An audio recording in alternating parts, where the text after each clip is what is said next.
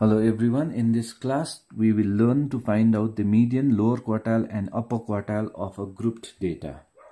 I have chosen question number 7 of exercise 21.2 and the question is here. The marks given are 35, 45, 50, 64, 70 and 72 and the number of students corresponding to the marks are 3, 5, 8, 10, 5, 5 let us solve this one. I have already prepared this table in which i have written the marks in this column and the corresponding number of students are also written in this case. Now let us first try and understand what exactly it means. This means there are three students who have got 35 there are five students who've got 45 there are eight students who've got 50 and 10 students have got 64 five students have got 70 and another five students have got 72 to solve this one first we will try and find out what is the cumulative frequency. What is cumulative frequency? Cumulative frequency is the frequency put together. Let us see how we find out the cumulative frequency. I will first write down the frequency or the number of students of the first group as it is. To obtain the second i will add this frequency with the next frequency which is 5 in this case. So 3 plus 5 will give me 8. Now I'm going to add 8 with the next frequency which is again 8. 8 plus 8 is 16. Now this 16 will be added to 10. We got 26. 26 is added to 5. We have 31 and finally 31 is added to 5 we will get 36 so this is the cumulative frequency. The last value is 36 it must match with the sum of the frequencies or the sum of the number of students. So if i find out the sum of number of students then 5 plus 3 is 8 8 plus 8 is 16 16 plus 10 is 26 2 carries 2 plus 1 is 36 so this one and this one matches. Now we have obtained the cumulative frequency. What does this one means?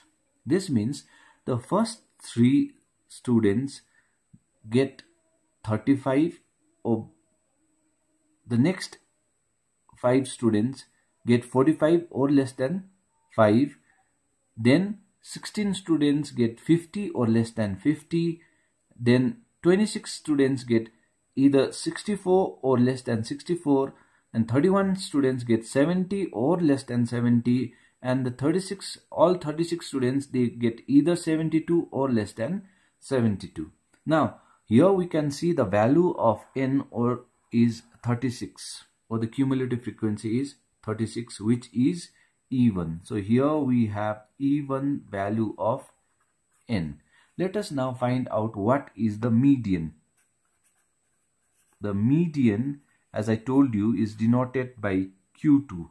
Now since the value of n is even we use the formula n by 2th observation plus n plus 2 by 2th observation whole divided by 2.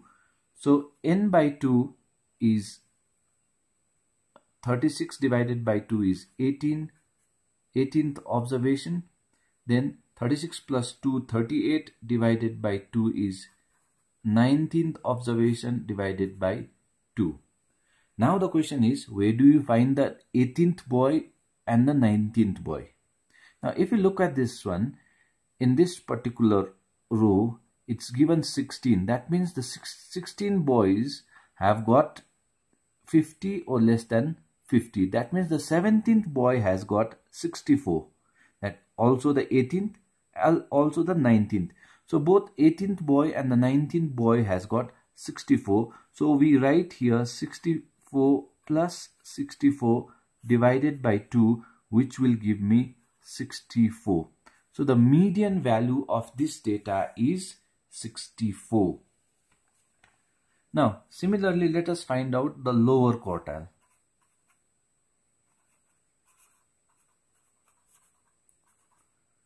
Lower quartile is Q1. To find Q1, we use the formula n by fourth observation. That is 36 by fourth, fourth observation.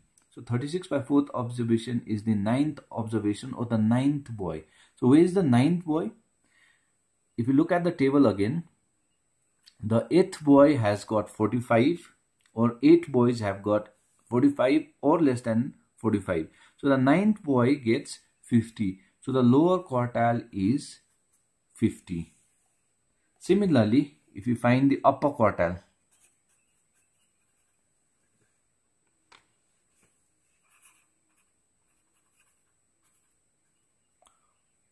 quartile is equals to it is denoted by q3 is equals to 3n by fourth observation since n is even.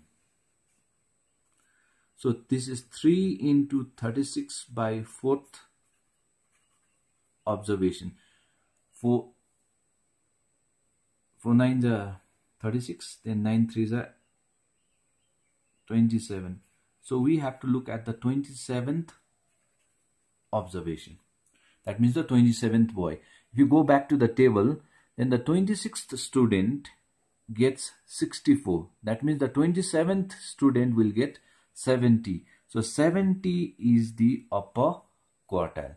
So here the minimum max was 35 and the maximum max was 72 the marks which lies exactly in the middle is 64 which divides the whole data into two equal parts.